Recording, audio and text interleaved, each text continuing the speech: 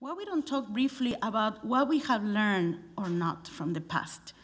If we look at the last three decades, I'm going to first and foremost provide three lessons. Uh, George Annas, my mentor, who I think I'm putting him asleep while I talk, um, told me in a presentation have three points. I'm going to say a lot of things, but I want three points to make, and hopefully those are the lessons you learned today. First, if we look at scientific progress over the three or four decades, and you can put progress in quotation mark, we have seen two things. What is the reaction? Public outcry, sometimes public hype, organizations, nations, individuals calling for policymaking for norms to be adopted. Most of these norms have been reactive in nature because we jumped to the wagon, okay? But also we have seen that so far we have failed every attempt to adopt an international binding document, a norm that is enforceable, that encompasses those fundamental human rights, those fundamental biomedical ethical principles that we all hold so dear and we are trying to protect in our activities, right? So that's lesson one, why we have failed. Why nobody can claim moral leadership on this? And I'm leaving aside purposely the European Union with the 1997 Convention on Human Rights and Biomedicine. So the legacy of the 90s, quickly, we translated the fundamental human rights into principles for biomedical research. We took the legacies of Nuremberg, of Helsinki, uh, the Belmont Report, and others, and tried to protect the patient, a human being on a patient-physician relationship or the research subject, right? But another legacy here is that researchers and physicians start adopting um, self-regulation, right? There was two intentions for this, and maybe uh, that was the main attempt to not wait for governments, for NGOs, for their own, uh, for international bodies to regulate their practice, to establish controls or not, or maybe intentionally to forestall external controls. So, lesson one. From the 90s to the 2000s, we have the birth of the gen ethics movement. We have the human genome, we have WHO, UNESCO, um, HUGO, and all these bodies adopting a lot of, of policies is still with the legacies of fundamental human rights incorporated into principles. Uh, and, and, we have, most importantly, the Declaration of Inuyama, the first to prospectively look at ethical legal aspects in this area, calling, uh, bringing the attention that the public, they said, are um, creating genetic exceptionalism and saying we have to stop and not being so genetic deterministics. But with the birth of Dolly, and this is legacy two, uh, or lesson two, we all reacted one way or the other to condemn human reproductive cloning, rightly so. But we look at this policy model very linear. One technology, one reaction. And history has told us that our approach for being so hefty, we were, was ineffective. We were not able to encompass the advances of progress of science. We were not able to anticipate that maybe the battle a decade later will be direct to uh, uh, consumer testing um, and other issues. So reactive policy looking at cloning, germline, and focusing on the embryo. The embryo distracted us for looking at are effective mecha governance mechanisms in place? Do we have ongoing oversight or not?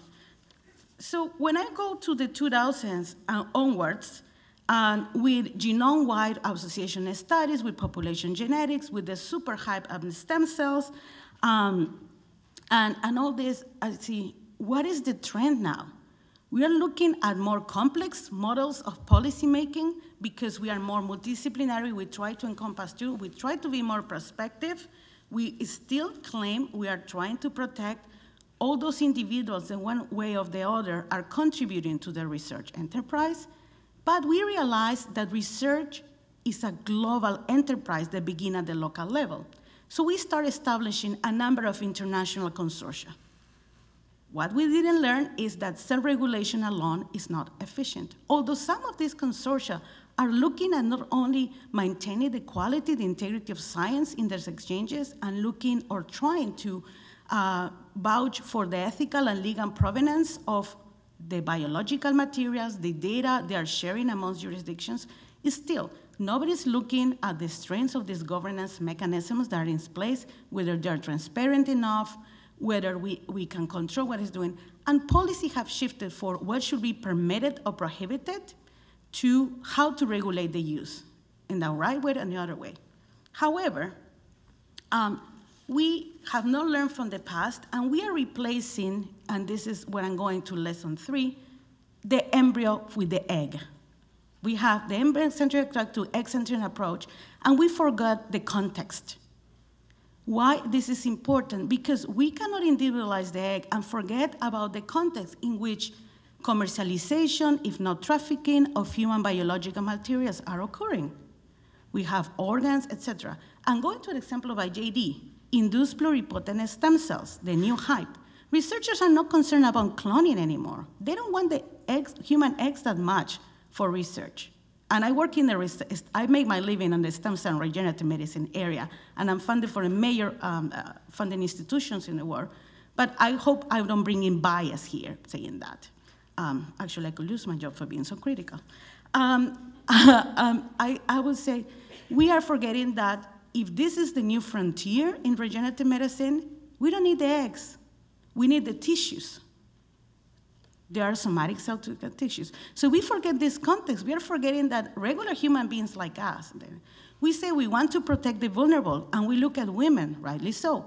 But we are forgetting that, for example, and going back to the stem cell hype, we forget about stem cell tourism.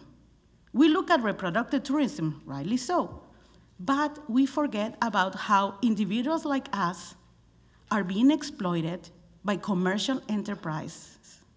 And a lot of times in a number of countries, in India, in China, in our own backyard, by enabled by the government. Why? Because we are reactive, because we like the linear approach, and because we never stop to look at what is going on and what is the context when this happened.